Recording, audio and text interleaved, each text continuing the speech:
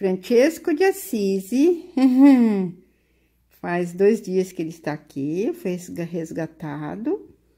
Agora ele mama.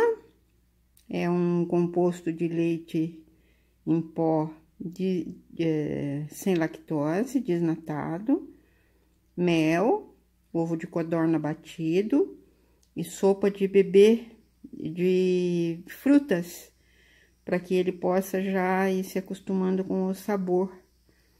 Eu bato e ele toma. Todas as funções dele estão normais. Olha, mama. Aqui já tem um pouco de água, logo, logo vai, vai tomar água. Hoje vai tomar água, já tá muito calor, sabe?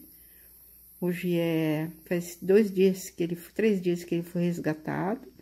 Ele foi resgatado no dia 4 de outubro, hoje é dia 6.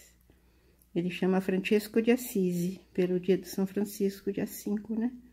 Dia 5 ele veio para mim. É um encanto. E hoje é dia 6, já falei. É terça-feira. Agora eu vou parar de filmar para poder dar. É, é, ele, ele toma assim na seringa, olha. Já tomou metade da seringa, vai tomar mais já foi alimentado hoje, tá? É assim que cuida de um bebê saruê.